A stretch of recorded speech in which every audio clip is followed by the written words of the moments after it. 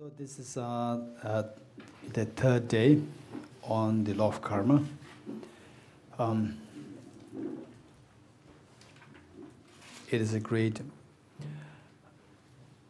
moment, great joy for, for all of us to be together and um feel the teaching of the Buddha, all of us, including myself, to learn about the teaching of the Buddha and the many of the concepts which we're going to share with you. Um, for some of you, it may be already you are already familiar with, and yet to reinforce the concepts, reinforce the the cognitive understanding of these concepts and the imbibing of these concepts within oneself. And then the the part on the question answers. So there are questions from the the this hall as well as from upstairs. And the questions are they're lying on the, the table. So we'll do also do the question answers. So with this in mind, um, say the everyone in Singapore, generally speaking, are very busy. So amidst your busy schedule, um, the, we all come together here for a very noble the endeavor for a noble for a noble uh, goal that is to activate the seed of Buddha energy within us, to activate the seed of perfection within us. Seed of perfection meaning that what we seek is the fearlessness that all our fears should dissolve. Then what we seek is infinite happiness, that happiness must, must multiply. These are two aspirations that we have. Whether you're Buddhist or non-Buddhist, whether you're Singaporean or non-Singaporean, whether you're boys or girls, it doesn't matter, educated or uneducated, wealthy, and the, the very normal person, it doesn't matter. We all have these two aspirations. The point is that whatever aspirations that we have, if you consolidate all the thought process and so forth, we see that these are two aspirations. To achieve that, any step that you take to achieve that, that becomes your path. And if possible, think of how to make this path as your path, not only in this life, but the future lifetimes as well, so that the till you reach the point where you reach the state where the Buddhahood inside, the Buddha nature inside becomes manifest fully, till that point you are not separated from this path that is so precious. And in and in this connection so many the discussions on the guru devotion all this is coming there guru devotions and so forth is a the very complicated matter. So and the what I would suggest is for example this kind of teaching has nothing to do with guru devotion. Is all about learning the teaching of the buddha. And uh, say the just to learn the teaching of Buddha, there is no need for you to rush. People tend to okay, oh my friend has a root guru, my this friend has a root guru, so they said root guru is very important. So I also I'm also looking for root guru. So one blind person leading another blind person. This is totally irrelevant. No hurry to look for root gurus. Study. Hurry to study. No hurry no hurry to look for root gurus. Hurry, there is hurry to study well. Study well, make a meaning out of your life. To see that, okay, now after studying about law of karma, my, my life is much easy, easier now. Earlier, for small things, I used to feel so agitated. Now realizing that this, even this what is happening, this experience is all because of my own, the previous actions. So now I feel more calm. And even these actions, they are coming not from elsewhere, coming from the thought processes, which we call as the afflictive emotions. And these emotions, they also arise from the, the cognitive misperception, misperception happening place, they have they taking place within my own mind. And the moment you rectify this misperception, then the emotions, the destructive emotions are rectified, then your, part, the, the, your smile comes out, the glow comes out. Okay. Then automatically all the actions, physical, verbal actions, they come out to be very meaningful. Say, His Holiness the Dalai Lama is very practical. So he would say that if but you by being there, and other people feel more relaxed, which means that you are a good person. You, by being there, everybody around, they become little tense. Something's wrong with you. So, this is where we need to change. We can change. And if you see that you, by being there, and other people, they feel a little tense, a little uncomfortable, um, the, which means there's something wrong with you, that wrong is not who you are. It's not who you are. And that, that wrong thing is the obscuration. It's like the soil which obscures this gold from glowing. So therefore, you, who you are, that beautiful nature, this beautiful nature of the glow within you, full of compassion, full of wisdom, oh, that is there within you. That is being blurred, that is being obscured, that is being veiled by the um, by this, you know, what we see as wrong, which makes other people intense, uneasy, uncomfortable. Okay, so this can be rectified. How do we rectify? This is what we're going to discuss to the best we can in these two sessions. Meanwhile, any question that you might have, uh, say those downstairs, you can ask direct through the microphone. Those upstairs, uh, you can send through the, the piece of paper and I already got some. Okay, there's mic upstairs. Very good. Then the, um, the upstairs, but how will I know? Okay, then the upstairs you can say that. Okay, a question from upstairs, then I will know. Okay, so those are who, who are holding the, the mic upstairs. You just say upstairs question number one. And then I will say, yes, okay, you can ask this question. That's very good. I'll be very happy that the upstairs also is connected directly. Very good. Okay, with this mind, the to be very honest, for myself as well, not only for you, for myself also, to be with all of you. Even one moment of being together with a smile, with the feeling of, you know, the, say, the brotherhood, sister, that is so precious. That is so precious. Say, in your family, together with your parents, together with your children, together with your, say, the, the partners, whatever. So there, say, just one moment of, say, the, how are you? One moment of, to light a cup of tea. This one moment is so precious, so precious.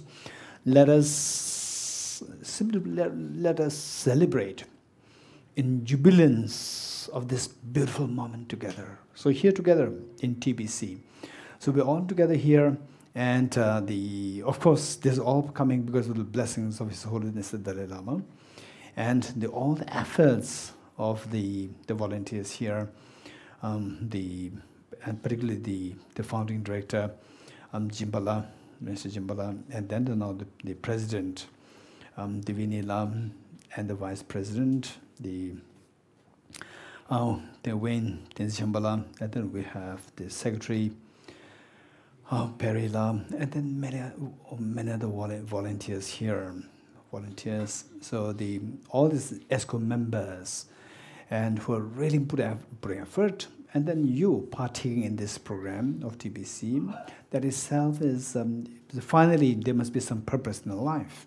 Okay, with that in mind, just to celebrate this occasion, and tomorrow is going to be the Saga Dawa, the, Saka, the, the month, the fourth month, um, the, the day the Buddha Shakyamuni, they displayed three very important deeds, divine deeds, one the birth, then the enlightenment, and the Mahaparinirvana. That the three occasions on the same date, this is what the Buddha Shakyamuni, our very compassionate teacher Buddha Shakyamuni displayed. So as the eve of that very important occasion, uh, we are the, engaged in uh, the meaningful and virtuous action. This is how we have to grow. See, even we have some difficulties now, And then instead of saying, okay, I'm so different, I'm so feeling so tired, the, okay, so today I'll skip going to TPC, today I'll skip going to APC, i'm feeling tired, I'm mentally, I'm not... Okay, generally speaking, where we need rest, this, even the Buddha taught what is known as the enthusiasm of respite. Otherwise, enthusiasm means you have to work hard. This is not always the connotation. It has multiple connotations. One of which the Buddha said is enthusiasm, respite. When you when you overexert, and when you feel so tired, burn out, the Buddha said, take respite, take rest, take rest. This will make you to engage, delve in the teachings of the Buddha more enthusiastically, energetically the next time. So the enthusiasm respite is taught. Meanwhile, say, then say we start complaining, oh, I'm not happy, this is, this is so weird, this is so bad, this is like this. We complain, complain, complain, we're adding to our problems. Instead, we're nothing. Each one of us, the true nature of us is so pure, fearless, very calm, compassionate, full of wisdom.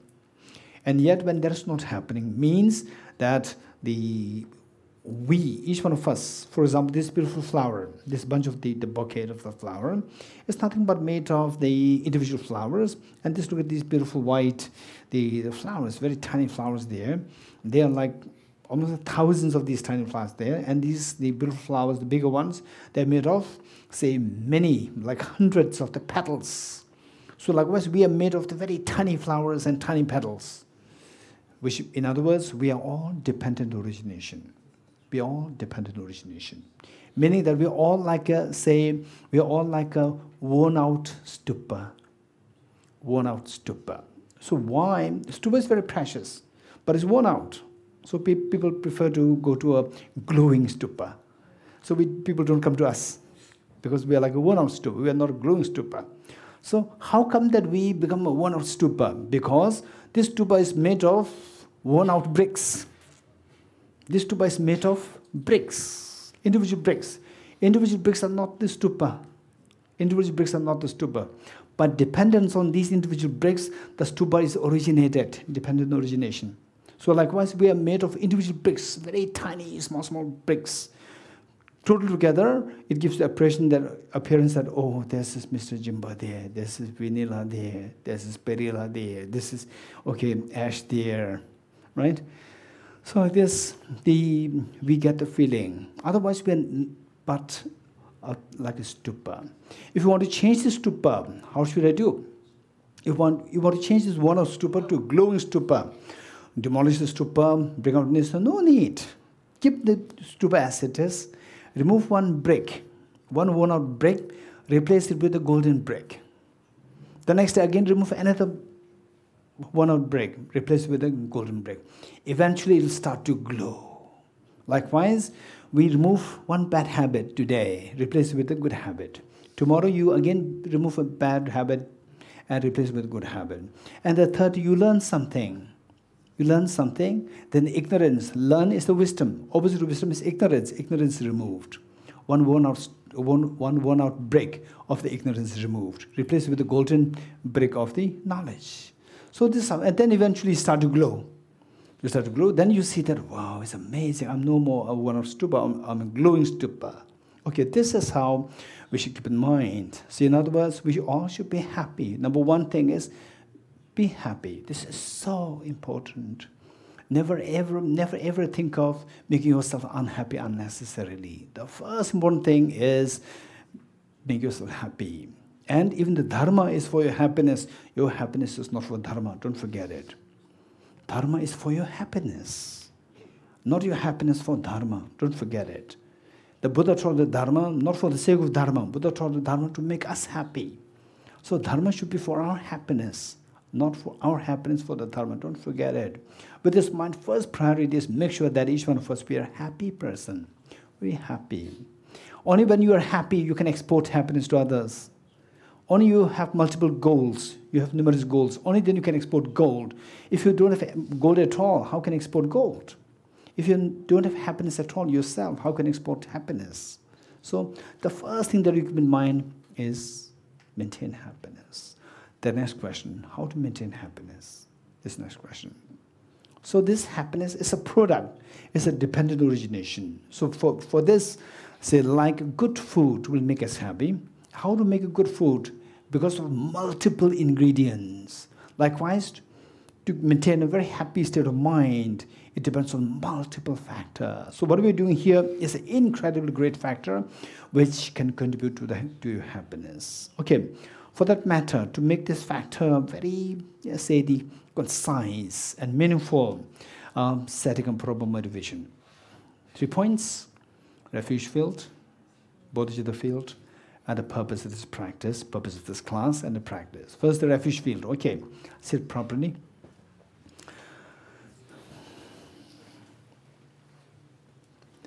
Um, refuge field, two points. What to visualize and how to visualize. What to visualize? Visualize Buddha Shakyamuni, His Holiness the Dalai Lama, Arya Manjushri, Arya out of Maitreya, out of Vajrapani, out of Thara, then out of Gishidagarbha, out of Samadhavatra, out of Nigarjuna, out of Deva. Then the, um, the Acharya Nagabodhi, Acharya Buddhaparita, Acharya Chandrakirti, Borsar Shanti Deva, Borasar Chandarakshita, Acharya Kamalashil, Acharya Haribhadra. Then Lama Selingpa from Indonesia, Lama Atisha, Lama Atisha from India. And all the, the enlightened teachers of the Chinese Nalanda tradition, of all the enlightened teachers of the Tibetan tradition, all the enlightened teachers of the Theravada Buddhism, Okay, just visualize them. Number two, how you visualize them. That makes the whole difference. That gives the strength, the quality to your refuge. The strength of refuge is determined by the second point. That is how you visualize them. Visualize them as your very affectionate parents, and imagine that you come home demoralized, being bullied by the elder children at school. Your parents are waiting there with tremendous love and affection to embrace you with total love and affection. And this is a fact. It's not what we are reifying. This is a fact that we are discovering. This is a fact that all the Buddhas and Bodhisattvas, they love you so much. It's only the matter of our lacking, our lacking, our lacking the merit to see them. Otherwise, if we are to see them directly, they this is what they display as so affectionate, loving towards you. Visualize your two parents on your two sides, and all other demons and beings around you.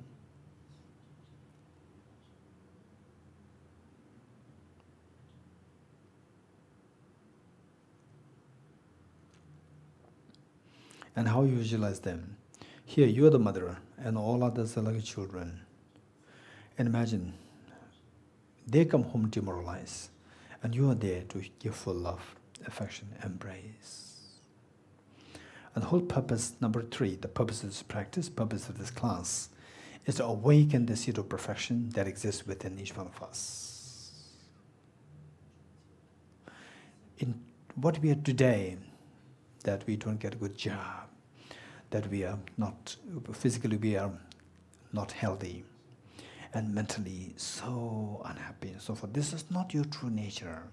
This is very adventitious nature. Your true nature is full of happiness, full of compassion, full of happiness, and the state of fearlessness. There's no trace of fear within you. This is the true nature. But why it is not manifest is because that true nature is obscured by the mental defilements. The way the gold, although the nature is to glow, but when mixed with the soil, it doesn't glow. So how do we make this gold come out? By removing the, the soil, remove the soil gradually. Likewise, how to make this glow of the fearlessness and the glow of the infinite happiness within you to come out, manifest, by removing the metal stains. how to remove the metal stains? Metal stains out of two kinds, the gross and the subtle one, like a solid garlic, and the subtle stain, the subtle smell of the garlic. First remove the solid garlic eh, from the mug, then this, the, removing the solid garlic, the smell will be left. Then you can think of remove the smell, smell gradually. So the solid garlic like mental defilements are known as afflictive obscurations. And the subtle smell like the, the smell like the smell of the garlic is known as the cognitive obscurations. Afflictive obscurations, the first one, the gross one, in the presence of this stops us from achieving fearlessness or the nirvana. Nirvana is to be understood as fearlessness.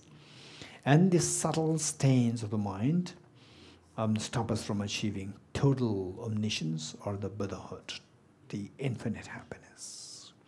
Now, to eradicate these two mental defilements, the remedy remains the same. This afflictive obscurations is of three kinds contaminated karmas, afflictions, and the active seeds. So all these three, somehow they are rooted, somehow connected, linked with the self-grasping ignorance. It's a misconception of the self, which we learned yesterday. So the remedy, because it is related to this misconception of self, self-grasping ignorance, the counterforce must be the wisdom to know the reality of the self. So the wisdom of emptiness of the self. Then on the other hand, the cognitive obscurations, the subtle stains, to get rid of this, the remedy remains the same, the wisdom of emptiness, but the driving force, the motivation must be very intense. The motivation must be the motivation of bodhicitta. So this bodhicitta must be grounded, supported by uh, great compassion and grounded on renunciation. Okay, with this basic motivation, to improve ourselves, to remove the mental defilements, to improve ourselves, to discover this treasure inside us in the form of following the, the path, gade gade para gade para samgade, bodhiswaha, uh, you are reading this and all sentient beings are joining you, and particularly those of us and the who your parents are not with you, who your other family members are not with you.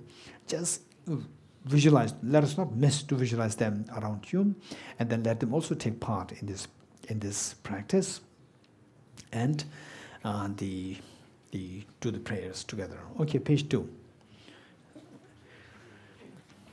Enthused by great compassion, you taught the macro dharma to dispel all perverted views. To you, the Buddha Gautama, I pay homage. and to respect great compassion. You taught the macro dharma to dispel all perverted views. To you, the Buddha Gautama, I pay homage. And to respect compassion. You taught the macro dharma to dispel all perverted views. To you, the Buddha Gautama, I pay homage. In dependent origination, there is no ceasing, no arising, no annihilation, no permanence, no coming, no going, no separateness, and no sameness. I persuade to the consummate Buddha, the Supreme among all teachers, the one who taught this peace which is free of elaborations. I persuade to the mothers of the Buddhas and of the heroes and bodhisattvas, who through the knowledge of all leads here seeking pacification to complete peace, who through the knowledge of past causes hold my grace to achieve the aims of the world, and through the possession of omniscience, the subduer set forth the varieties having all aspects. The one who has transformed into the reliable guide, motivated by altruism to benefit sentient beings, the teacher, Sugata, and protector, to you I make prostrations. One who has eliminated the web of conceptualizations and is endowed with the divine bodies of the vast and the profound, who eternally shines forth the forever noble light rays, to you, the Buddha, I make prostrations. Okay, let's recite this mantra three times together. Um, those of us who can recite it well, recite, join, and those of us who are more like first time, listen to us and join us. ॐ ये धर्मा हेतु प्रभवं हेतुं तेषां तथा गतो ह्यवतत् तेषां च यो निरोधा एवं वति महाश्रमणये स्वाहा।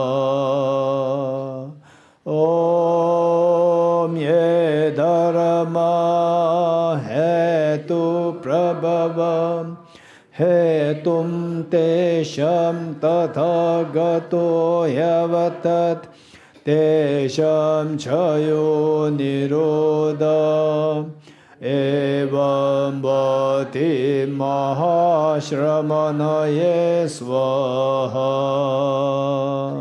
ॐ ये धर्म हेतु प्रभव हेतुं तेषां तथा गतो यवथत् तेषां च यो निरोधा एवं भवति महाश्रमणये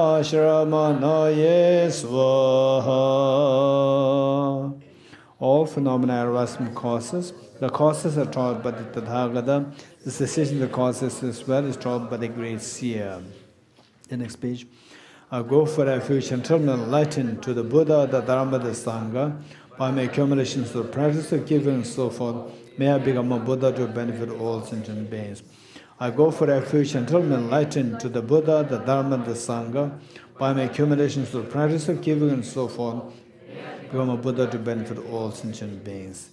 Inspired, okay, I go for refuge until I'm enlightened to the Buddha, the Dharma, the Sangha, by my accumulations of the practice of giving and so forth, may I become a Buddha to benefit all sentient beings. Inspired by wisdom and compassion, today in the Buddha's presence, I channel mind of full awakening for the benefit of all sentient beings. Okay, we will do a quick meditation, a five minutes meditation.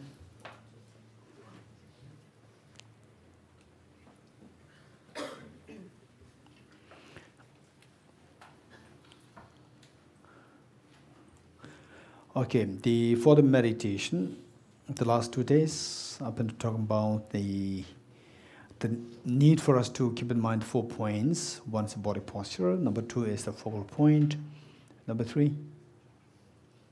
What's number three? Very good. Identifying the errors of meditation. Number four, applying the remedies to overcome the errors. Very good. Okay, four points. And the there are many people who do meditation, but who are not being uh, so careful, and because of which they come up with very strange experiences. Like, okay, in the meditation, I see like lights, and some people they say I meditate, I see buildings. But what kind of meditation they're doing? Buildings coming up? I don't know, right? So, and that, this I'm not, they, I'm not fabricating. I'm not exaggerating. This is a real incident that happened. Somebody reported to me after three years of meditation, this outcome. Buildings are coming up in the, in the meditation. Okay. So this is all because of the callousness pertaining to the last two points. Identifying the errors of meditation and applying the remedies to overcome the errors. Okay. Identify the errors of meditation. Say, meaning to make it very simple. If I want to meditate on the Buddha image, it must be Buddha image. Anything else that comes to your mind are totally redundant, totally irrelevant to you. Even if something so virtuous things coming to you, it has nothing to do with you. So you have to just ignore. Don't reject, just ignore. Focus on what you should be meditating. In some cases, with the meditation, whatever meditation that you're doing, then there's a sudden surge of blissful experience, calmness will come to you. And then you just ruminate over this, this bliss or the calmness or the tickling sensation, whatever, you just ruminate over them. Again, you're lost. You're not meditating. So no matter what wonderful experiences come to you, sometimes as well like you are just one with the whole cosmos Usually these things happen when you close your eyes. As though like you are just one with the whole cosmos. This is what happens to you when you keep your eyes closed. And this is a big problem. Okay. Um, this disconnects you from the reality. In reality, everything is discrete. There's no, you know, the, there's no one cosmic thing which combines all of us. But you close eyes, do the meditation for quite extended period of time, you feel that as though like you are just one with everyone. And you wake, you come out of meditation, you, we are all different. So this is being disconnect. Because of this meditation, this is disconnect with the reality. In other words, this being very unrealistic. Okay. With the emptiness meditation, with the emptiness meditation, there are times when you see everything is one. It's not everything is one. Everything is devoid of the differences. And devoid of the differences and being one these two are different, these two are not one. Be devoid of the differences, devoid of the devoid of the discretion, the lack of differences, and being one is different. Okay, so the uh, because of which some practitioners they describe the experience of emptiness as one taste, where everything is just like one, devoid of the difference. It's like not only not actually one, but they get feeling that it's like one. But we should focus on what you should be meditating on. Okay, I'm not going to.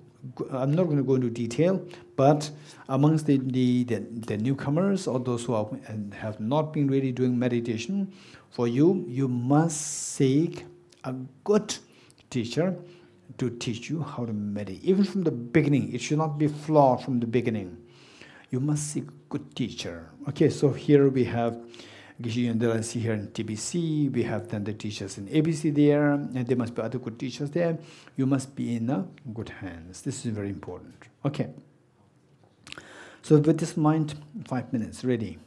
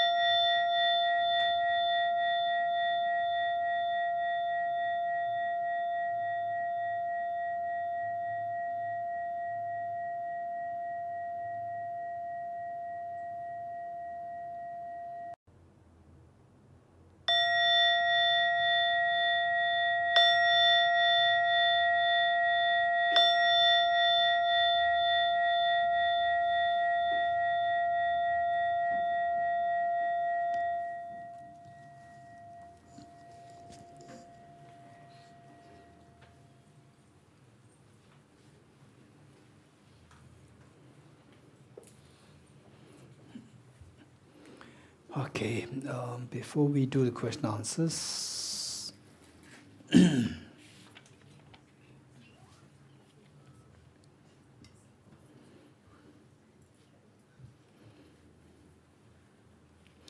okay, first the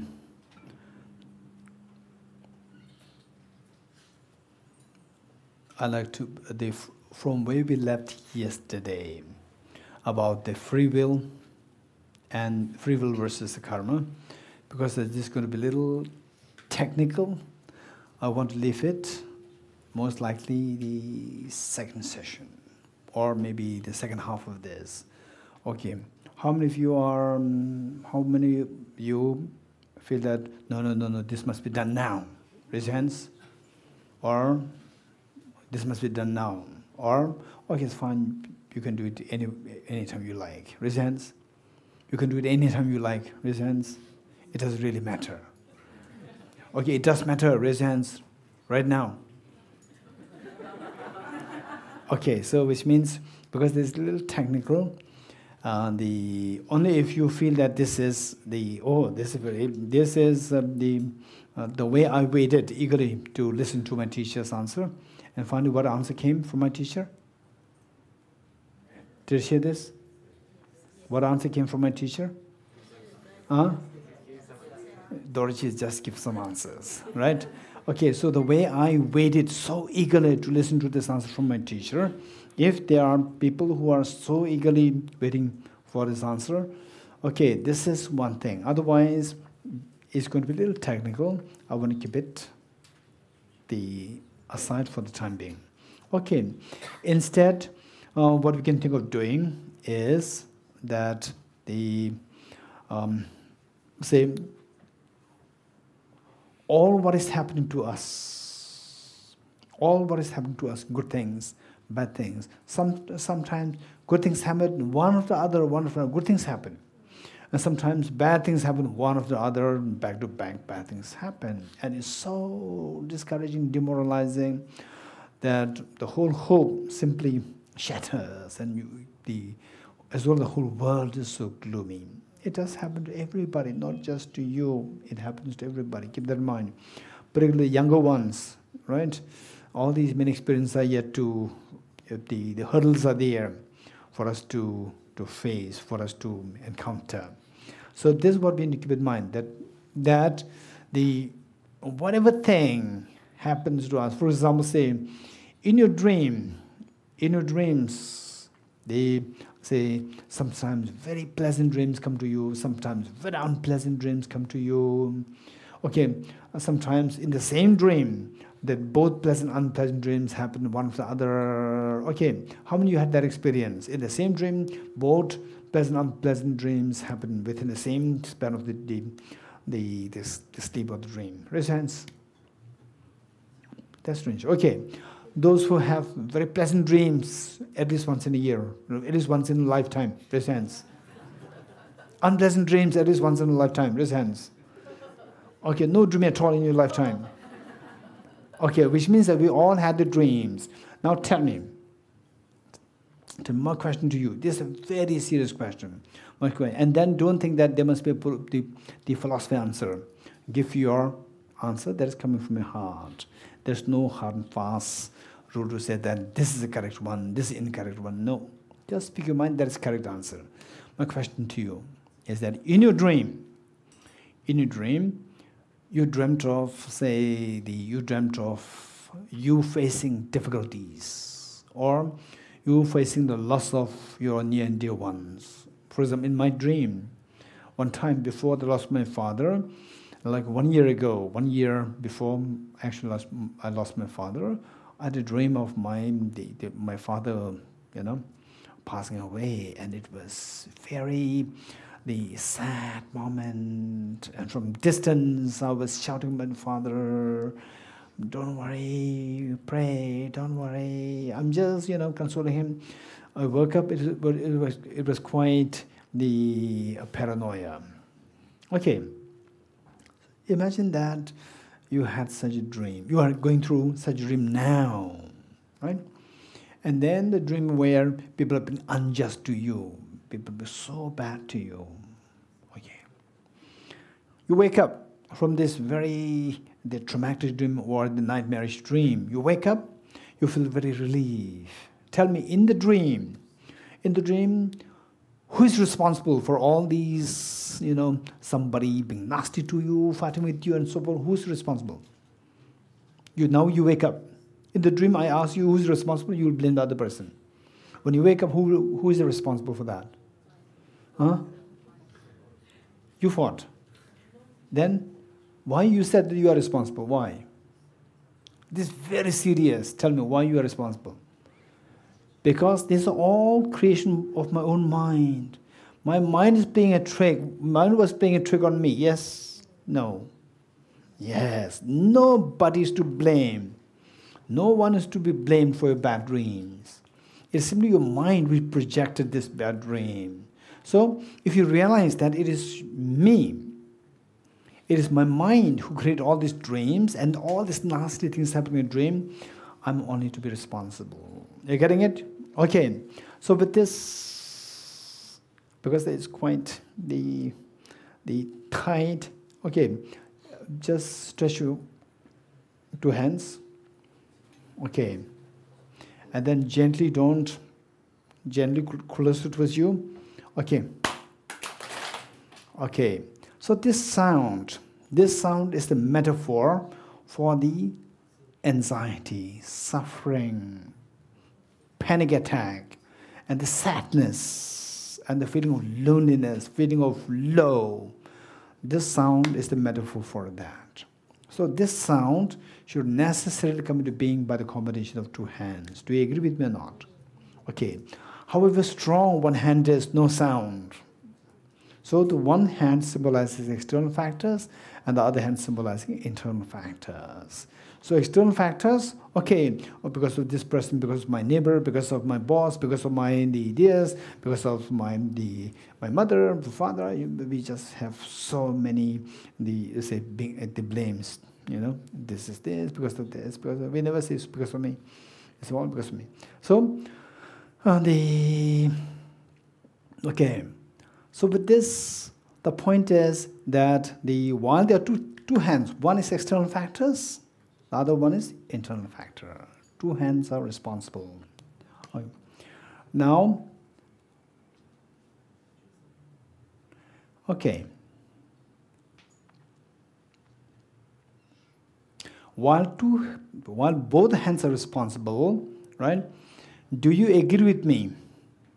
Do you agree with me that some people they go to the extreme of blaming the outside. Others they are expert in blaming inside, right?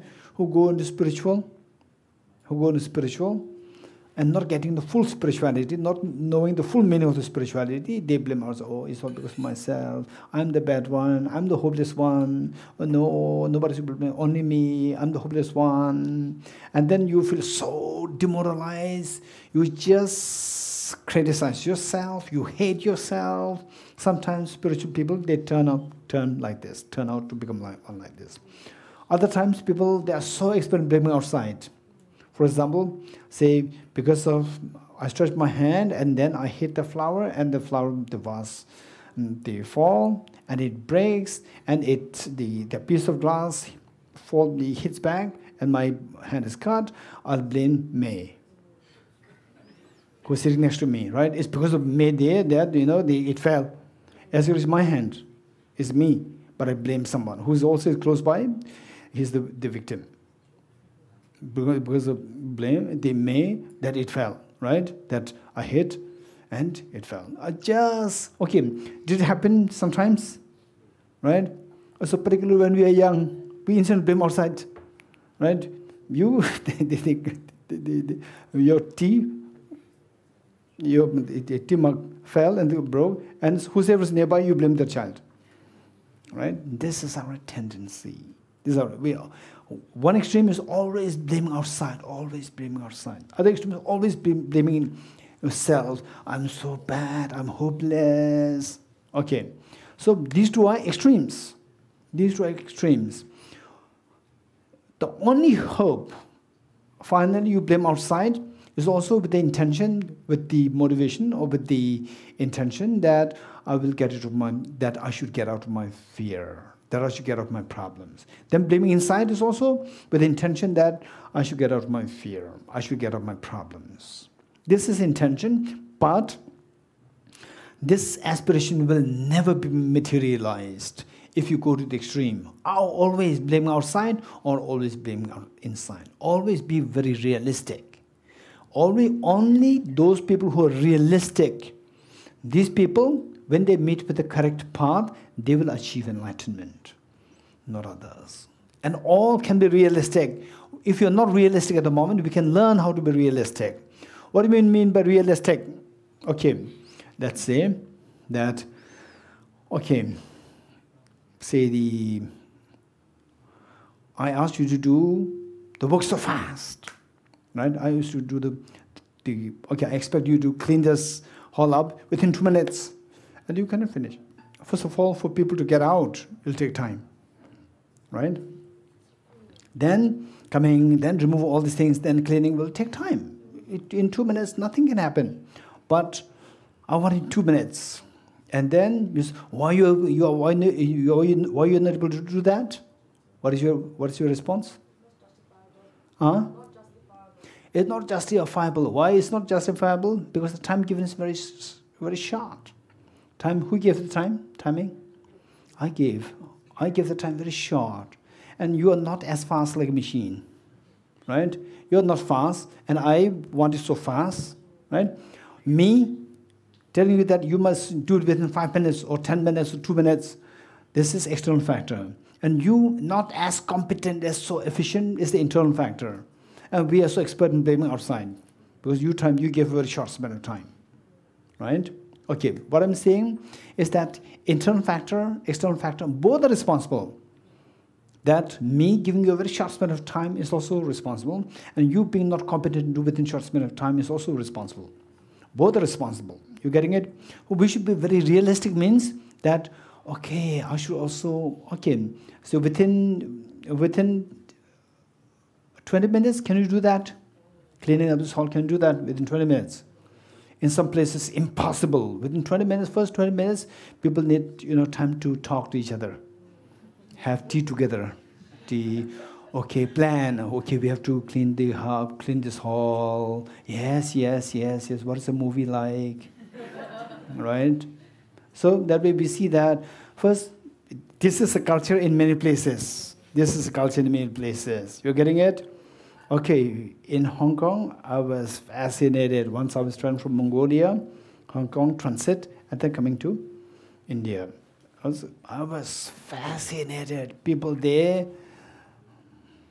working so efficiently within like, I think 10 minutes, aeroplane cleaned up. Within 10 minutes, I was so fascinated. The only bad thing is that there, there's no smile. That's the bad thing. Efficiency is amazing. Where they smile, efficiency is not there. They'll not finish in 10 minutes. They'll not, they'll say that, what is one hour? We need two hours, right?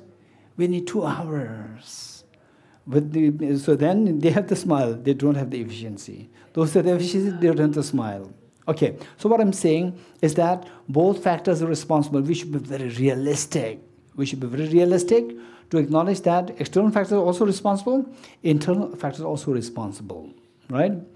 Only those who are very realistic people, if they pursue through the journey of the path, gade gade, they will succeed in achieving enlightenment. This is for sure.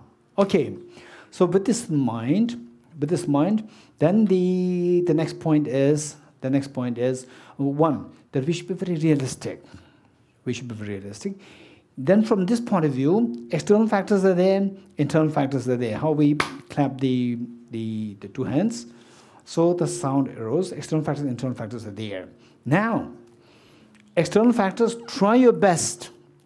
Try your best, which is so important to make sure that the external factors are taken care of. Internal factors are taken care of. External factors, internal factors, both. Some said it's purely mental. What depression is purely mental? Is your thinking? No, that's not easy. Depression is not easy. If the same feeling of, say, what we discussed yesterday was what? The five mental factors. What are they? Contact, Contact. attention, attention. discrimination, feeling intention, right?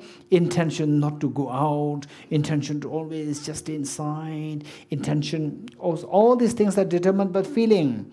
And the feeling, unless and until somebody goes through depression, one will not have that experience of that very, very agonizing, corrosive feeling.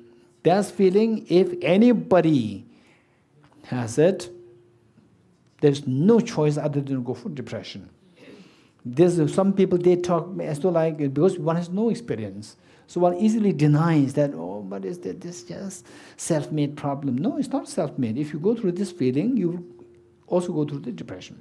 So our job is how to, how to, to say the how to mitigate the intensity of the feeling, unpleasant feeling, through rectifying the discrimination, the cognitive process, by modifying, by rectifying, by changing the cognitive discriminatory, the mental factor. So this is what we are trying to do. Okay.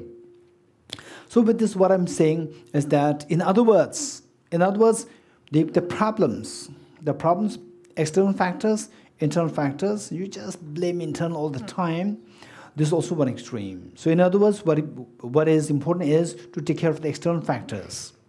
So for example, in some places, in some places, don't go in the night, don't go out in the night in some places. Right? If boys, girls, both can be very dangerous. Robbers can come and attack you at any time. Right? And then don't eat in the place where you don't eat from the restaurants where it is so clean tidy nobody going there right? So clean spacious nobody going there. And the, the restaurant very crowded. Oh it's so crowded i don't want to go there. It's very cozy. The clean place nobody very peaceful. You go there you'll get all the stale food. Right? In a crowded place all this crowded you will not like it but you'll get fresh food because they, they don't have enough food to keep there. All food, you know, they have to suck, do it very quickly. So all from this, what I'm saying is that external factors, you have to smart, or you should be smart enough to take care of the external factors. It's not purely 100% internal, one thing. Then, for the long term measure, external factors, how many such external factors are there? Tell me. External factors which can, which can potentially create problem on you. Okay, by the way, I'd like to ask some, some of you just volunteer.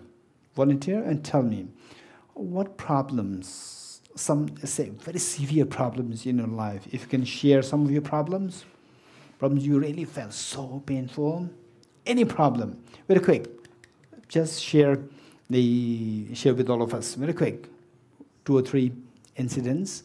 Anyone? Uh? Anybody? You don't want to share? Maybe didn't you, you you you like to share something? Some problem in your life?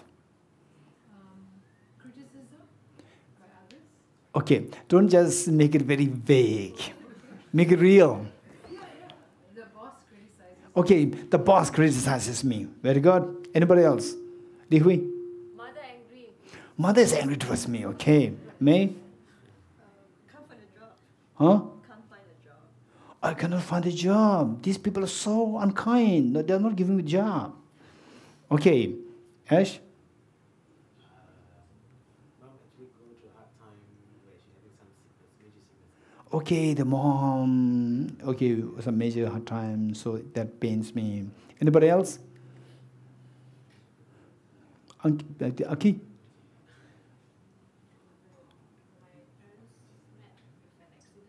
Okay, your parents met accident. Okay, yes. The which one?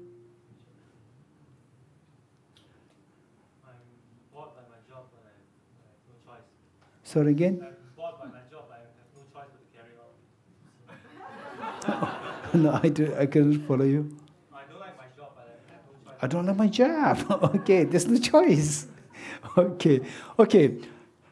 Did you notice one thing? Did you notice one thing in all these? Right? Okay, so this prob- these all the problems. The problems are caused by the two hands. What are the two hands? External, and internal, right? And how many of these incidences, in, incidences display that internal factor is responsible for one problem or external factor, which is more? Huh? Okay. My boss criticized me. External, internal? External, right? And this job, I don't like this job. There's no choice. Okay, external, internal. External. And what is me? I can't find a job. I can't find a job. All these people, they're so unkind. They don't give me a job. I'm very competent. Right? They don't give me job. right? They're not kind to give me job. Okay, external. And the, okay, Aki, what is it?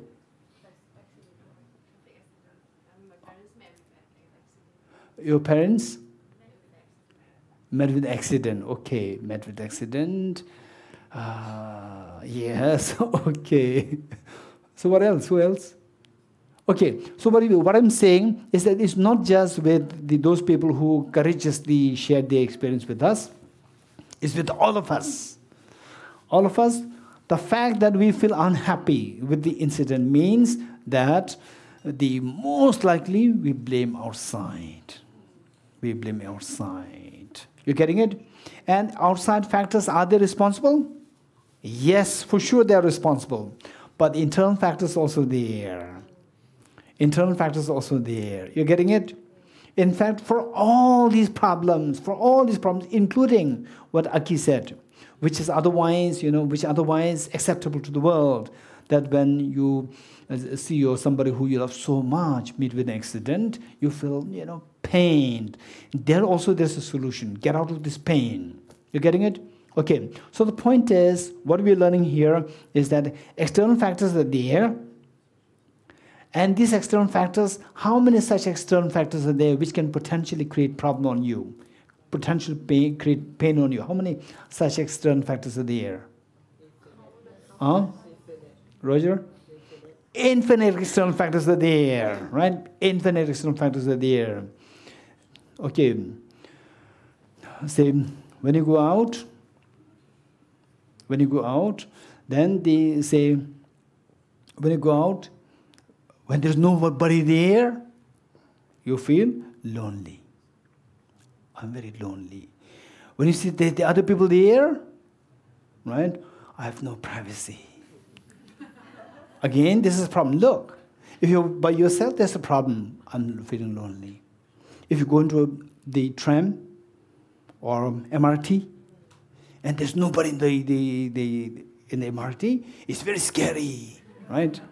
If there's crowd, again, there's a problem. So much crowd, you come to the crowd, right? You also contribute to the crowd, right?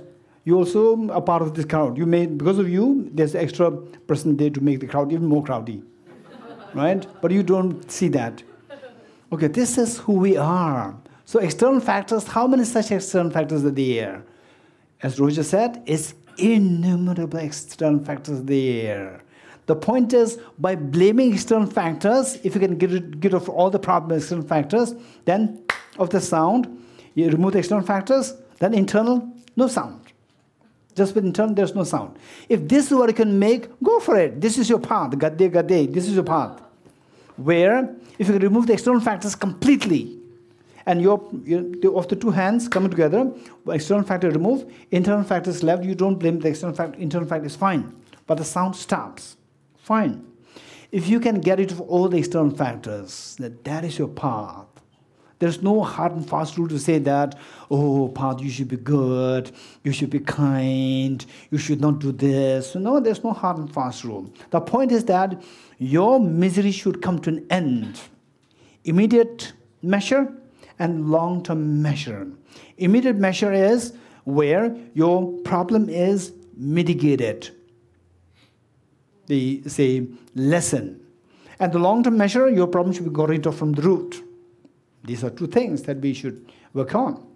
And the wise people will look for both, but they will emphasize on the long term measure. Wise people. And the unwise people will focus on the immediate, they will not think about the long term measure. Long term measure, they will see if you go for the long term measurements, you go into the say emptiness, bodhicitta, then coming to TBC more, coming to ABC more. Then other people say, What are you doing? You're so weird. What happened to you? Something wrong with you. Right? This is how they look at you. When you're looking for the long term measure, those unwise people will see you as very weird. Actually, they're weird because they don't think about the long term measure. The fact is that they also don't want the suffering altogether. They want to get rid of the suffering altogether. They want to get rid of that, but they're not thinking of getting rid of that. Okay, so with this mind, the now what is wiser to do? If you want to get rid of your suffering altogether, what should we be doing? Or the two hands, to get rid of the external factor completely, or to get rid of the internal factor completely. So wiser to do is to get rid of the internal factors completely. So what is that internal factor? Internal factor, primarily two. Internal factor to External factors, multiple, infinite. It is impossible that we can think of getting, getting rid of the external factors completely. Internal factors only two. One is self-grasping ignorance, misperception of the self, and the other one is this self-centered attitude, selfishness. Selfishness, self-centered attitude. And the other one, misconception of the self, which is also referred to as self-grasping ignorance. And these two are not same. Oftentimes people see these two as same, these two are not same, these two are very different. These two are just two in number, whereas tackling the external factors is innumerable, infinite number. You cannot possibly, you can take care of them as the immediate measure to mitigate your problem, but to get rid of the, all the external factors is impossible. Okay, so with this, what is this internal factor? What are the internal factors? Self-grasping ignorance and self-centered attitude. too, right? Okay. This is just for information, uh, particularly those who are those who are already into the, the deeper studies for these last many years. Uh, for you, uh, what I'm going to share with you is going to be okay. Yes, that is you will agree. But those who are new for you, this is going to be like um, you know exposure. I'm exposing you to the this very extremely important concept. Particularly, I see that okay. I see that there are many new faces uh, from the okay new faces for you. This is going to be a very good exposure. This will be like a way like a blueprint for your next journey.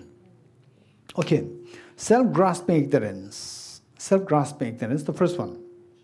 Number two is self centered. These two. When these two are together, we cannot get out of the problems. No matter say say the no matter how what good conditions are you in external facilities you will never have a sense of satisfaction. You will never have a sense of you know fearlessness. And the fear increases. And the fear that somebody is the fear of the two kinds of people. One who is very poor one who has just all the riches of the world these two people in, in terms of the fear the fear of the person with wealth, that fear is much, much more intense than the fear of the one who doesn't have. Right? Fear of losing the wealth is acute fear. Fear of competition. The fear of, say, the, the people being jealous of you. They are so intense and corrosive which the people who, who are not so wealthy, they don't have the experience. Right? Okay. So the point what I'm saying is that these two things, self-grasping, ignorance, self-centered attitude, as long as we have these two problems, there's no ultimate solution. We can have temporary respite and superficial happiness is there, but deep inside, the fear is always there. The moment you encounter the external factor, the fear is there, unhappiness is there. Okay, how do these two, okay, so what I said is that these are the two internal factors self grasping ignorance and self centered attitude. And, and so if you don't want to say, if these two are gone rid of, if are gone rid then of the two hands you remove the other hand. Then you're left only left with one hand, which symbolizes the external factors. However strong, however ferocious, however strong, other hand, the sound of the misery stops. Your all the fears, anxiety, stress, they will stop. Okay, for sure there are people who go through you know stressful life, who go through some kind of physiological, physiologically, or because due to hormone, hormonal change or whatever, they feel the anxiety attack. I come across many people and the okay, including those some of those who are very you know uh, since my childhood, I know some of them. So how to tackle those things? So some are genetic, some are because of the the the neural structures, because of the neural structures. Some are because of the genetic, and some are because of the environment. Some are because of the the immediate adventitious factors multiple factors are there. Multiple factors are there. And of course, in all these factors, one is related, for sure is related one factor is the governing factor is the karma. Previous karma is there. That's the governing factor. So this can manifest in the different forms. Different forms. In some people, say their physical body becomes weak and then they display this anxiety attack. Some people, they have a genetic the disorder which they inherited from their parents. And then at a certain age, they display this the anxiety attack, depression, so forth. And some people, say the, the brain the neuro, the neural circuits, there's some problem, the synaptic connections, there's some problem there, and then the depression can happen. And in some cases, it's environmental. Environmental, say when you, you were in an environment where you hear only bad things, you see only bad things over and over again, then it can slowly be translated into your own thinking and then it can give you anxiety attack. And then, of course, the immediate factors like the, the loss of somebody who you love so much, and then you are mentally not prepared.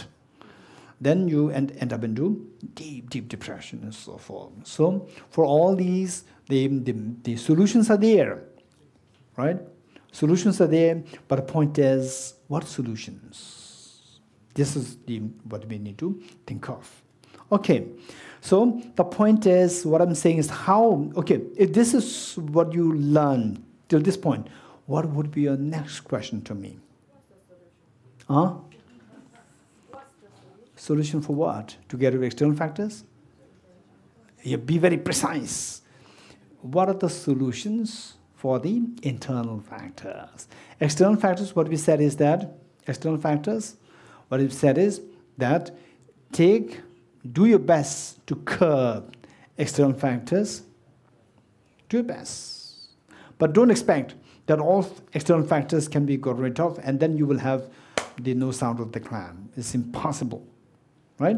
So the only possibility, long-term plan, is to get rid of the internal factor. So what is the question?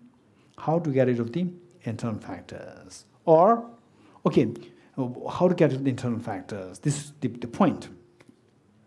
For that, first we need to know how these two internal factors contribute to the problem. If you know this, if you're convinced of this, then we will know, we'll learn how to get rid of these two internal factors.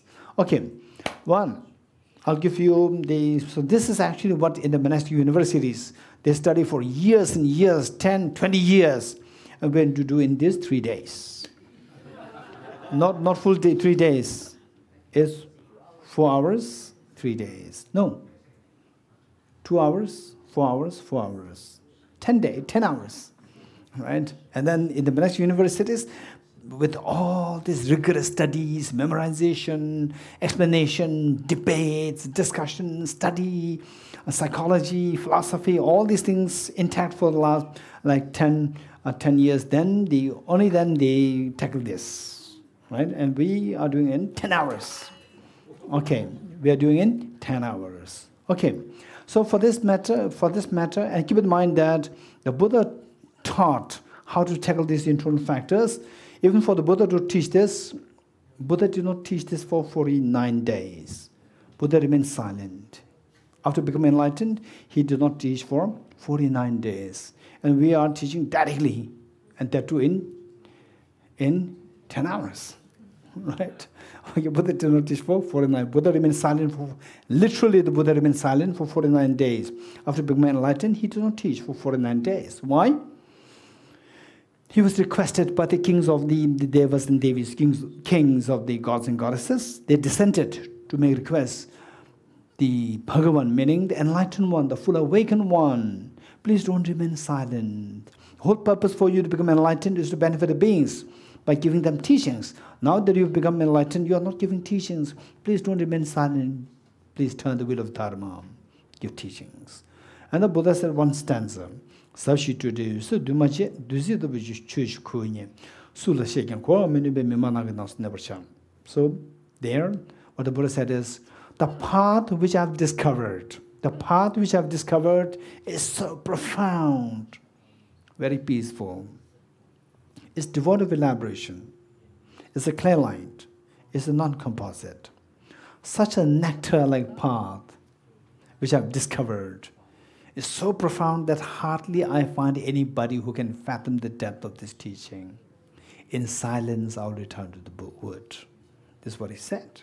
Okay, then through more requests, supplication made to the Buddha by these two god, the god kings, Indra and Brahma.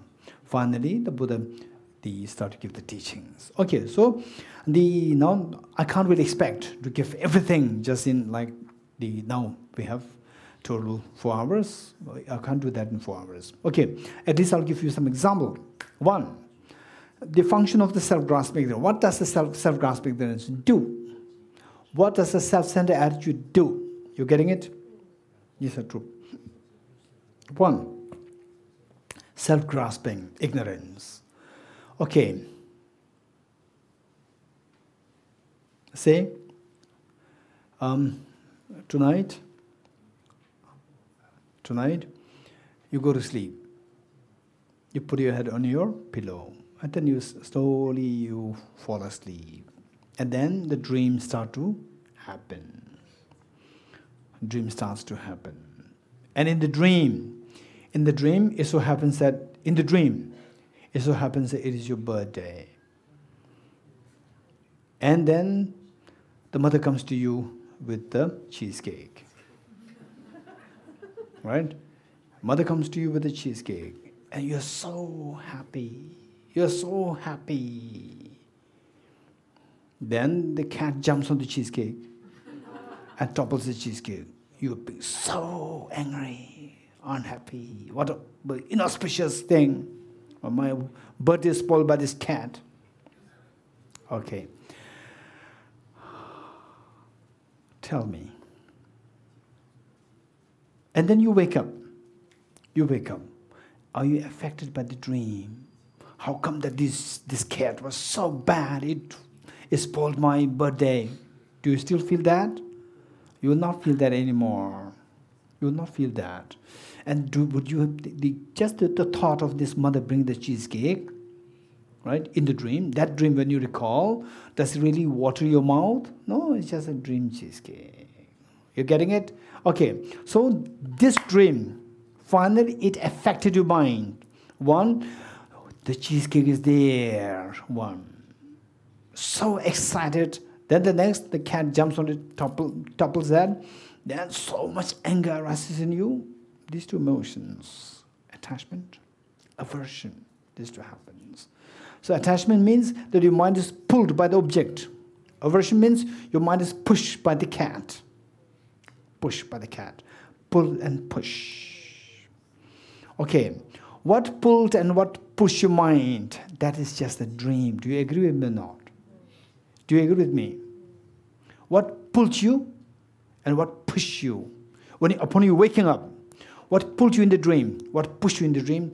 That was just a dream that pulled you and pushed you. Yes? No. Okay, now when you wake up, are you going to be pulled by the cheesecake? Are going to be pushed by the, the dream cat? No. This pull and push, right? Because it is not that you are voluntarily going there. It is just but pulled by the dream. If the dream cheesecake is not there, your mind will not be pulled. So dream cheesecake, it pulled your mind. That is the involuntary pull. And the cat jumps and topples it. And then you become so angry towards the cat, it pushes you away from the cat. Involuntary push. So this involuntary pull and push is because of the because of what? Involuntary pull push, pull and push happening in the dream is because of what? Because of because of being in the dream. Okay, this pull and push by the dream cheesecake and the dream cat happen in the dream or outside the dream? Inside, the dream. Outside the dream, the pull and push is not there. Pull and push stops. You're free from the pull and push. Right? So this pull and push, this pull and push is your choice or it was out of your choice in the dream? Out of your choice, without your choice, right? If there's, you're doing the out of choice, then when you wake up, you should still have the choice to do that. But you're not doing it. Right? Which is better? Involuntary pull and push in the dream is better, or that you wake up and the pull and push stops, which is better? Wake up and pull and push stops. So this involuntary pull and push is the loss of freedom. Loss of freedom is misery. That is samsara. If somebody asks what is samsara, the loss of freedom is samsara. What is meant by loss of freedom? Involuntary pull and push. I don't want to be if somebody if somebody grab if somebody grab the uh, Moses here, if somebody grab Moses and pull and push like this, Moses will say no human rights, right? Human rights violation, because he doesn't want somebody to pull and push. Right? So the dream is the one who is pulling and pushing. You're getting it? So why you are saying that no human rights human is a human rights violation? Because you are losing your freedom. Loss of freedom is misery. Misery is samsara. If somebody asks, what is samsara? Loss of misery is samsara. Loss of freedom is samsara. What is loss of freedom? Involuntary pull and push. That is samsara. Right? Okay. Now the next point is, so this involuntary pull and push happens in the dream, not, out, not outside the dream, only in the dream. Why? Tell me, why? Why the involuntary pull and push happen in the dream and not outside the dream? Anybody, very quick. Why the involuntary pull and push? Okay, don't think that he must be expecting a philosophy answer. just give your, just speak your mind. Why this involuntary pull and push? Involuntary pull and push meaning the, the dream cheesecake pulling you and the dream cat toppling the cheesecake, pushing you, make you angry. And the moment you wake up, so this pull towards the cheesecake and push by the, the dream cake, dream dream cat will stop. Why this involuntary push, push is happening in the dream? Why it stops when you wake? Up. Why? Anyone quick?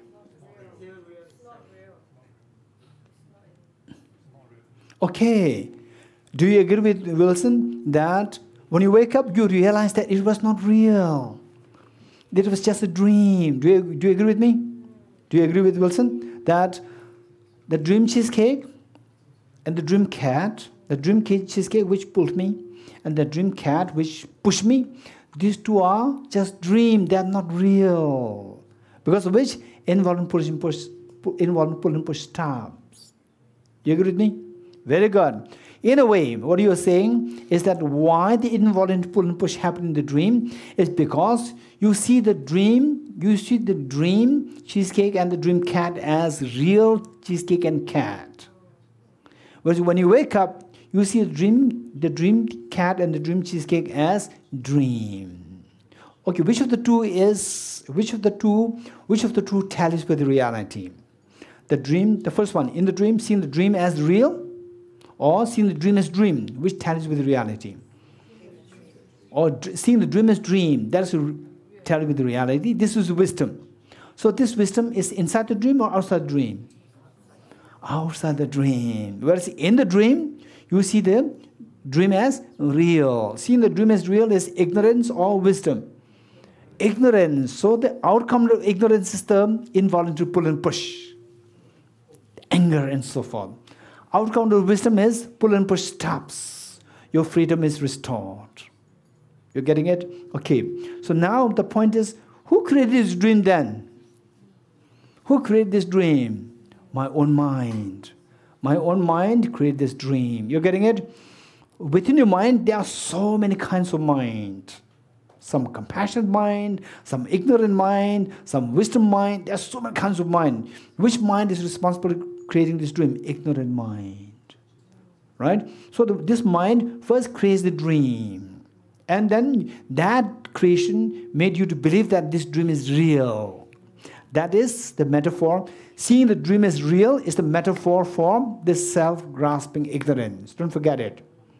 Seeing the dream as real is the metaphor for self grasping ignorance, misconceiving the self. So, how many of you have been to shopping malls? Okay, no boys are raising their hands, only the girls. okay. Okay. So the okay. So self-grasping ignorance, it is like the one who creates the dream and one who creates the shopping mall. self-grasping ignorance is the one who creates the dream as real, and the shopping mall is very beautiful. Then what happens? Then the self-centered attitude comes in. Self-grasping ignorance creates the shopping mall, right? The dream shopping mall. And the self-centered attitude then comes in. Okay, I like this, I like this, this is very nice, this is not good, this is very and then your your your parents, oh, this is going to be your gift, you know, from the, the mobile, right? The, from the many the, the ranges of mobile, your mother picks you up a very cheap mobile. This is your birthday gift. No, you are looking for something else. What is that? iPhone X. You're looking at this, right? Okay, so what I'm saying is that, say, you go there and all these things are displayed there. Shopping malls created by the owner. And then you go there. What, with what? Self-centered attitude. I want the best. I want the best. I'm the one who deserves the best. Self-centered attitude goes into the shopping mall, then pick up. I want this, I don't want this. The mother says, okay, this, this mobile is very good. It's the, uh, the 200 $200. No, I want the, what is the, what's the, the cost of the iPhone X? Huh? 1,000, 2,000. Okay, iPhone X with 128 GB is 2,000, 2000, right? Okay, they want that, right? I don't want this with the with 200 dollars. I want with the 2,000 dollars. I want that. That is good, right? Okay, I remember when I was very young, when I was in the, the school, it's beautiful, amazing. You must learn the skill. I was in class 11. Class 11, the, I was the, the say, in charge of the hostel, boys' hostels, what do you call it? The, uh, the, all the soap, toothpaste, logistics, amenities, amenities. So I was in charge of that. And then I decide what to, to give to who. And the say the for washing the clothes, there was the soap bar. The bar, soap bar. And soap bar there are two kinds. One which is very hard, it doesn't give any form. other one, and is big size. Another one's very small size, it gives form very easily. And then the one boy, I was shocked to hear that. He was my class, not really classmate, he was my batchmate. Age-wise, I think same. So he said, Dorji, I need to sew. So when somebody comes, I have to give. So I prefer to give the the the the, the big one the, because I want to dis- dispose that first. Then he knew that he knew that he knew that okay now he's going to give me the the form without form, right? One. So he said that oh, Dorji, it's fine if you give me the smaller one. He said, Dorji, it's fine. For me, it's fine if you give me the smaller one right? He's not greedy. He, does, he doesn't want the big one. He wants the small one. It's fine, right? So I have to give the smaller one. So how he spoke was so nice. It's good. It's just fine if you give me the smaller one, right? And I knew that he's very smart. Wow, this is a very different way of saying this. It's very, it's putting in such a way that other person, you know, other person feels that, other person feels, okay, he's very, what do you call it? Uh, no. Uh, he's very. Uh, no, no. So what I would say is that okay, how he put it. If you say that cheesecake smaller and bigger one, oh, it's okay if I get a smaller one. No, no, no. If you if I say this, what will you think of me? Oh, he's a very kind, humble, and what else? Consideration. Consideration, humble how he presented was he did not say that I want the, the better, smaller, better one. I said it's fine if I give the smaller one. So which means that I'm humble, but deep inside is very opposite. I want the better one. You're getting it? This is how he presented. Okay, now what I'm saying is that shopping mall was created by the owner. And then that is like the self-grasping ignorance created the dream of the shopping mall. Then in the dream, you do not know that it is a dream. Then you go into the shopping mall. Then you start picking up. Who's picking up? Who wants to say, who says that this is good, this is not good? When the bad things given to you, you feel unhappy. When the bad, good things given to you, you're very happy. Who's that? Self. I. This I is very important. Right? Self-centered attitude. Self-grasping ignorance creates the shopping mall. Self-centered attitude goes there to pick up the things, discard things which the person doesn't like, and pick up things which the person likes. So, if the self grasping ignorance does not create this dream of the shopping mall, you don't have choice. If the shopping mall is not created by the owner, you don't have choice. You have to go to a small shop. Whatever is available there, you have to pick that up. Whereas with the shopping mall, then you start to pick up things. Self centered attitude, self grasping ignorance, these two things work hand in hand to create all the afflictive emotions, anger, jealousy, all these things. With these two things intact, self-grasping creates the shopping mall, self-centered, the dream of the shopping mall, and the self-centered attitude goes to pick that up. Oh, this is good, this is not bad, this is bad, this is good. All these things come into being by the combination of this self-grasping and self-centered attitude. Okay, and of the two, for your information, of the two, which is more difficult to get, get rid of? fully is the self-centered attitude. To get rid of this fully from the root is much more difficult to, than to get rid of self-grasping ignorance. Just for information, self-grasping ignorance is cognitive in nature. Self-grasping ignorance is cognitive in nature. Self-centered attitude is affective in nature. Cognitive and affective. Cognitive meaning, okay, yes, There's a, the shopping mall there, there's a mobile there, this is the, the cheap mobile, this is the expensive mobile. These are all cognitive processes. This is the self grasping ignorance, misconceiving the dream as real. Then the self centered attitude then go, goes to act on it. I like it, I don't like it. The moment you say, I like it, I don't like it, this is effective. I have affection towards my mother. Means I like it. So I like it, I don't like it, this is effective. Without that sense of affinity, you just say that, oh, this is good, this is not good, this is mobile, this is not mobile, so forth. This is cognitive. So self self-centered, self-grasping ignorance is cognitive in nature, and self-centered attitude is affective in nature. So these two, only when these two come together, then all these say the afflictive obscurations, afflictions can arise, disturbing emotions can arise. When the disturbing emotions arise, then what happens? Then all the physical, verbal, and mental karmas come into being. These karmas, physical, verbal, mental karmas, then they decide all our, say, the miseries. Okay, so this is how it operates. Now, the next question is once you identify what is self grasping ignorance and what self centered attitude is, the next point is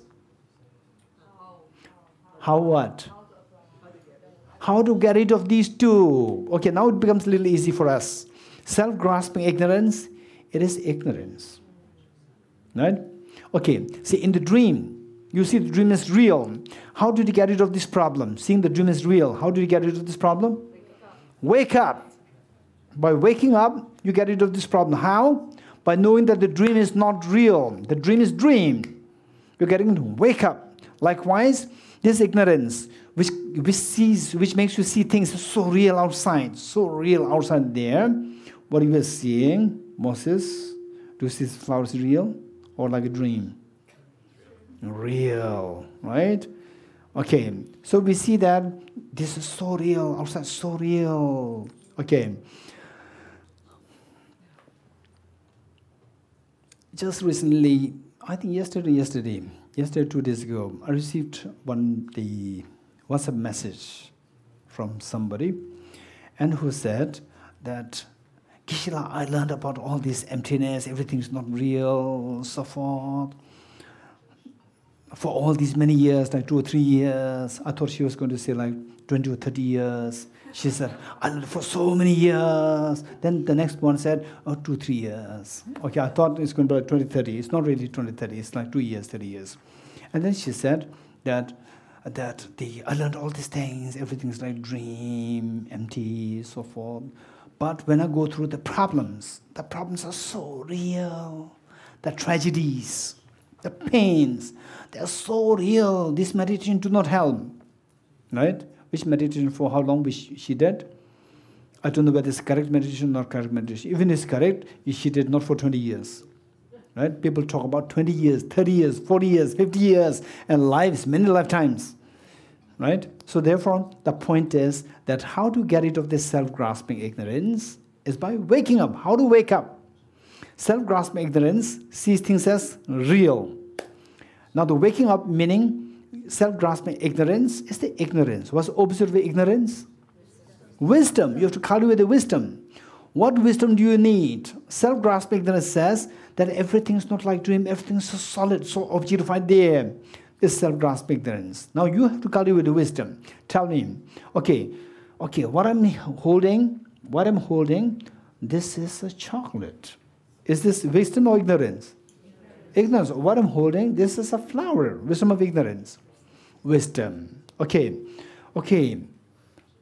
I'm in Singapore. Wisdom of ignorance. Oh, I'm in New York, Manhattan. wisdom of ignorance. Ignorance. You're getting it? Okay. Now, how many such wisdoms are there? How many such wisdoms are there? Innumerable wisdoms are there. Any correct cognitive processes are wisdom. Any correct cognitive processes. This is a flower. I'm in TBC. Okay, it is in the daytime, not in the nighttime. So there are beautiful thangkas around us. And tomorrow is Saga Dawa, the 15th the, this very the holy day. This is all wisdom. Okay, but tell me, if if I say that, okay, I'm a little scared. I'm a little scared. Okay, how will you get rid of my fear? Right? How will, how will you get of fear? Then Lian Chu, Lian Chu may say that, okay, Sheila, don't worry. TBC doesn't have tiger. You don't be afraid. TBC doesn't have tiger. Is it true or not? TBC does do that uh, TBC do they have tiger? No tiger. That's true. That's wisdom. But still, I'm afraid. Still, there's a fear in me. Then, then Roger comes. Roger says, okay. So I told him. The then you told him that there's no tiger in Tibet house. No, TBC, not Tibet house. Okay. The, there's no tiger. Still, his fear is not gone. Okay. So his fear is not good. He can go into depression.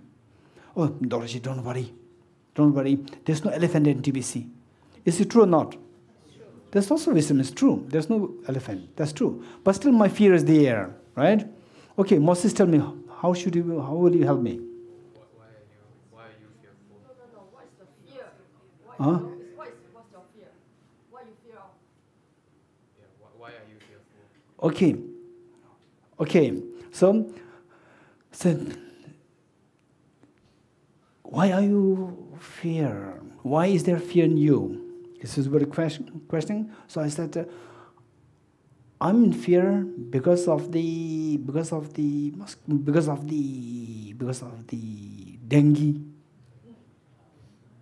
Dengue or dengue? Okay, in Singapore it's dengue. In, other, in some places it's dengue. Yeah, both are correct. right. Okay.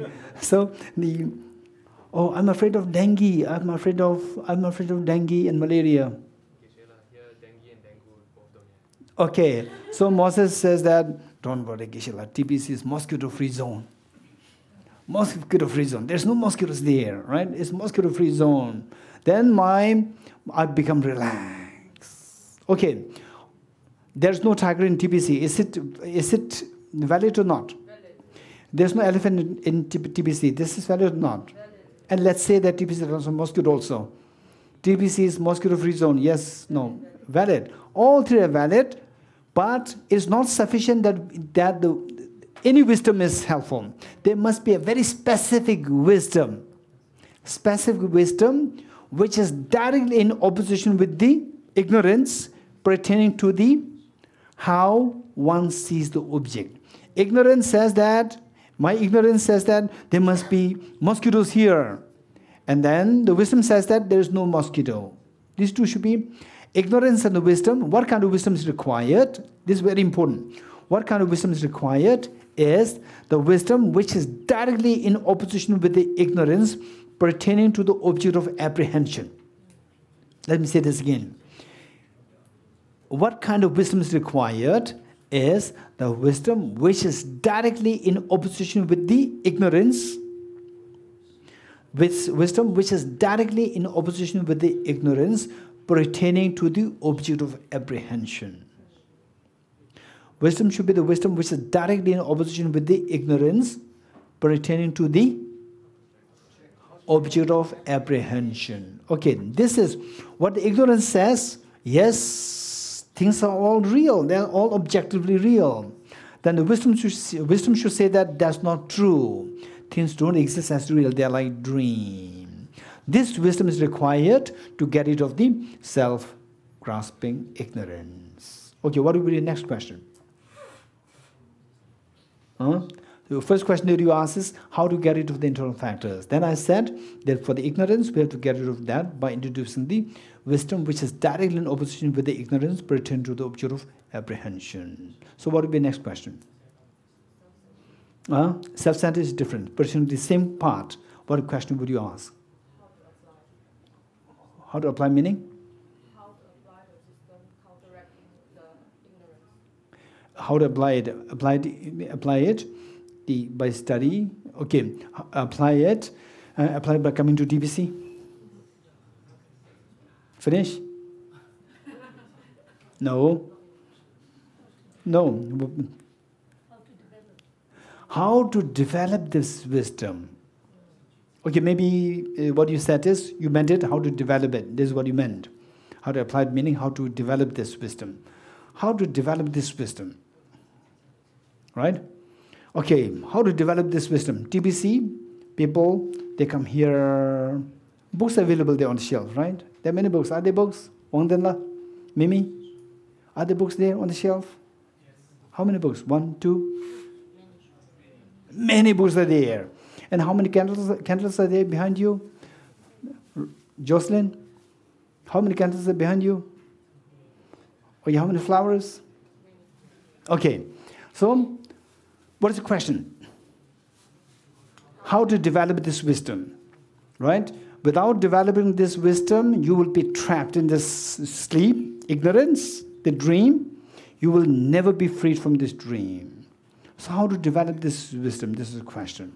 So, in TBC, let's say in a very cursory form, there are three ways of developing the wisdom. One is by picking up those books. Another is by picking up those candles and offering to Buddha, Buddha, okay, please remove my ignorance and the, let my business be successful. Uh, then you offer flowers to the Buddha. Here's the orchid flower for you, Buddha please make my business go successful. And then, if possible, let the wisdom born in me. Okay, so there are three ways. Of the three ways, the first one, pick up the books. If that does not happen, if that does not happen, picking up the books, if that is not happening, no matter how much you light the candles, how much you offer the flowers, say to Buddha, Buddha, please remove my ignorance, it will never happen. Right? Okay, you can offer flowers, you can offer lamps. These are very, very conducive factors, but these are the conducive factors to ignite this lamp of wisdom. Right? So, we need the conducive factors plus the ignition light. Both should happen. Ignition light happens through picking up the books.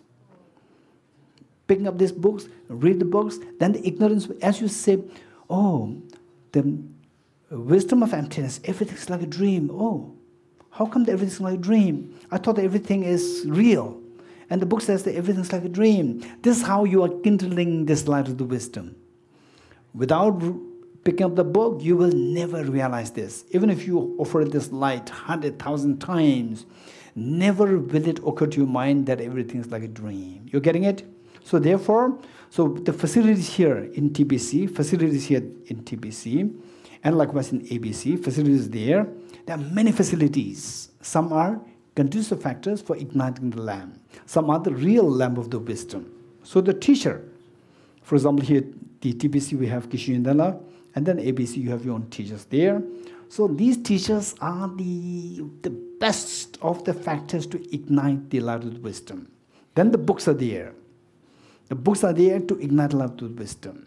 And then the flower offerings, butter offerings, things are there. They are the conducive factors. Conducive factors, like indirect ways to ignite the light of the wisdom. You're getting it? So, if you really want to cultivate, develop this light of the wisdom, it should be through the books and through making use of your teachers. That is very important. In other words, study, reflection, and meditation. Meanwhile, don't ignore the other things like offering lambs, making prostrations, offering, say, the water, water balls, and so forth. Don't ignore these things. They are equally important. Equally important, uh, say, for the food, right? The, for example, if you want to make a very delicious vegetarian tofu food, tofu is important or the salt is important? Huh? Tofu is important. Then remove the salt. Then what is it? Salt is important. Remove the tofu. No, both are required. Likewise, igniting the real ignition of the, the light of wisdom is required, plus the conducive factors to enhance this, to make this ignition possible, both are required. So, making prostrations, then the saying prayers, chanting, uh, then the reading books, reflecting on, then attending teachings, and attending various courses. You are very fortunate. I'm saying this again the Singaporeans are very, very fortunate. Very fortunate. This, in fact, this is the, the one of the places the people and the people, where the people are very fortunate because in this Singapore, we see that minimum, what I know is that there are two beautiful centers, fully functioning centers, where teaching is available in such a vibrancy, great vibrancy.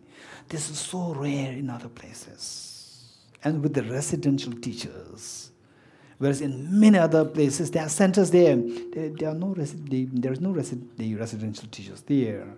So this is a great, great opportunity for the Singaporeans. So with these faci- facility available, and then you then you you don't you you don't attend the classes, you don't attend the the courses, and then you just engage yourself in the uh, say the reciting, chanting, and so forth. This is a great loss of the opportunity. Okay, we'll stop here, and we'll come back at four.